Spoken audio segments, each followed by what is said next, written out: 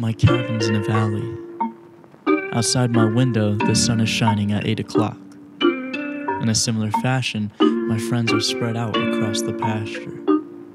Wild, unbroken horses roam, and deer prints on the outskirts of our little homestead.